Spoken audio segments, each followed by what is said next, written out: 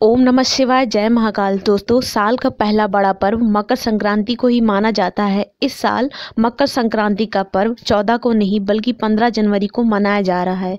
इस दिन सूर्य भगवान उत्तरायण में होते हैं, इसलिए दान आदि का महत्व भी बढ़ जाता है। दोस्तों, मकर संक्रांति का दिन बहुत ही लाभकारी होता है। इस दिन किया गया कोई भी उपाय अपना असर चौबीस घंटे के अंदर ही अंदर दिखाता है।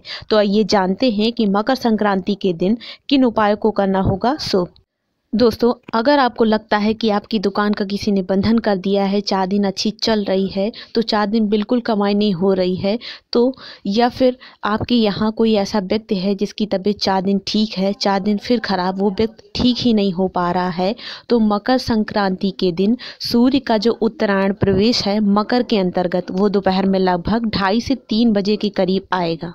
तब मकर संक्रांति के दिन मकर राशि में जब सूर्य प्रवेश करेगा, तब दोपहर के ढाई से तीन बजे के करीब आप थोड़ा सा काला तिल लेना, एक बबूल का कांटा ले लेना और किसी भी वृक्ष की पाँच पत्तियाँ ले लेना। उसको लेकर अपने दुकान पर से या जो व्यक्ति बीमार चल रहा है, उस पर से 21 बार उतार कर या उससे स्पर्श कराकर अवधूतेश्वर महादेव का नाम लेकर उतार लेना है, क्योंकि शंकर भगवान की अवधूतेश्वर महादेव का नाम लेने से व्यापार में वृद्धि भी होती है और गंभीर से गंभीर बीमारी से छुटकारा भी मिल जाता है। तो जब आप इन सब सामग्रियों सहित उस व्यक्ति पर से या दुकान पर से 21 बार उतार लें तो उसको ले जाकर किसी बहते जल में डाल दें। यदि आसपास नदी ना हो तो पीपल वृक्ष के नीचे रख दें। दोस्तों, मान लो किसी व्यक्ति ने आपकी भूमि पर कब्जा कर लिया है और वो आपको आपकी ज़मीन या खेत लौटा रहा है। तो इसके लिए मकर संक्रांति का दिन बहुत ही लाभकारी साबित होगा। करना ये है कि आपको समी पत्र की पाँच पत्ती लेना है। बेल पत्र की ग्यारह पत्ती। सूर्य पर से सात बार घुमा करके सूर्य भगवान का स्मरण करते हुए, साथ ही शिव पुराण का मूल मंत्र, श्री शिवाय नमस्तुभ्यम बोलते हुए, शंकर भगवान के शिवलिंग पर जो समर्पित कर देता है और चढ़ी हुई एक बेलपत्र एक समीपत्र उस स्थान पर डाल देता है जो कब्जा नहीं छोड़ रहा। महाराज, छह महीने के अंदर ही अंदर आपकी ज़मीन वो आपको लौटा देगा। जिनके हाथ पर कांपते रहते हो या सिर हिलता रहता हो, वो लोग यदि मकर संक्रांति के दिन काली मिर्च को पीसकर फिर जल में डालकर सूर्य को अर्घ दें। उसके बाद जब आप सूर्य भगवान को जल चढ़ा दें, फिर जो जल पृथ्वी पर गिरा है, उसे थोड़ा थोड़ा करके जहाँ भी कंपन रहता हो, शरीर में वहाँ लगा लें। फिर उस व्यक्ति के शरीर का कांपना हमेशा के लिए समाप्त हो जाएगा।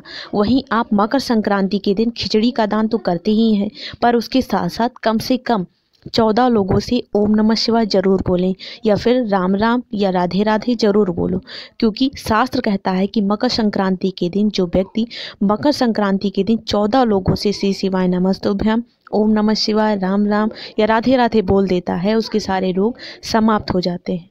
दोस्तों, शास्त्र यहाँ तक कहता है कि जिनका परिवार छूट रहा हो भाई भाई में विवाद हो रहा हो, सास बहू में अक्सर नोक झोंक हो जाती हो, देवरानी जेठानी में ना बनती हो, वो यदि मकर संक्रांति के दिन एक लोटा जल में काली तिल डालकर और उसमें थोड़ी सी हल्दी डालकर शंकर भगवान को चढ़ा देते हैं तो उससे उनका परिवार हमेशा जुड़ जाता है।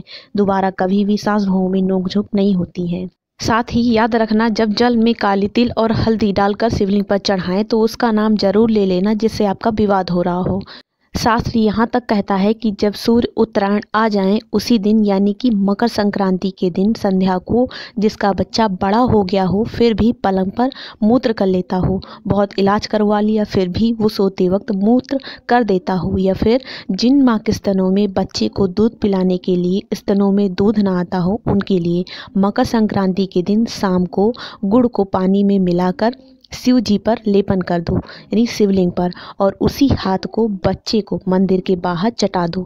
फिर वो बच्चा पलंग पर कभी भी मूत्र नहीं करेगा, और वही यदि जिस माँ के स्तन में बच्चे को दूध पिलाने के लिए दूध नहीं आता है, वही हाथ चटा दिया जाए तो स्तन में दूध आना प्रारंभ हो जाता है।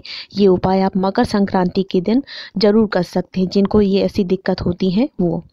वहीं जिन लोगों को ज़्यादा शुगर की परेशानी हो, वो यदि मकर संक्रांति के दिन काला तिल शंकर भगवान की शिवलिंग पर समर्पित कर दें और समर्पित करते समय शंकर भगवान का एक नाम है हाटकेश्वर महादेव।